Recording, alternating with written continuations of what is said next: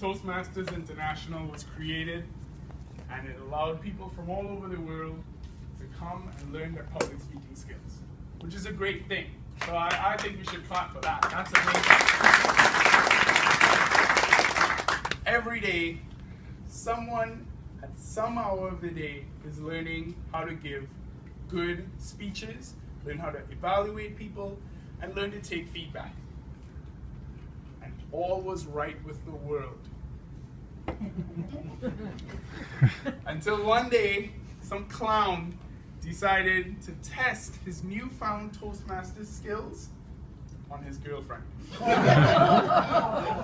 fellow Toastmasters, judges, my one secret that I've learned in my year and a half of being a Toastmaster is this.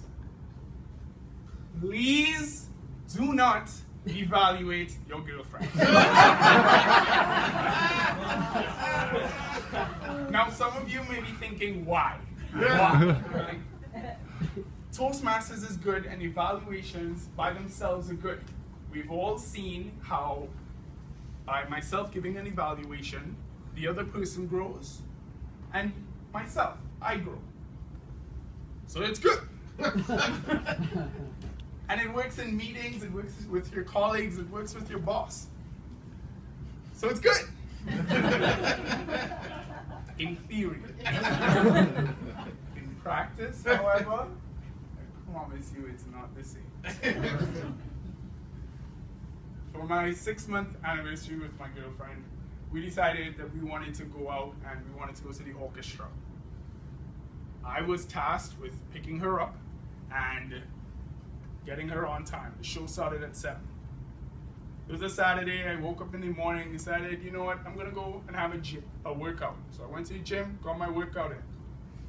Then I came home, had a big lunch, watched some TV, and then the couch looked very inviting.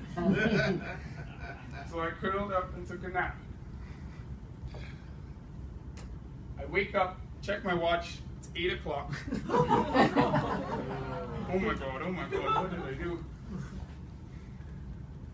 I check my phone, I see 10 missed calls, angry text messages. Where are you? Why aren't you here? So I'm like, okay, I gotta pick up the phone. I call her. Baby, baby, baby, I'm so sorry. I apologize. I fell asleep. Is there anything we can do to still have a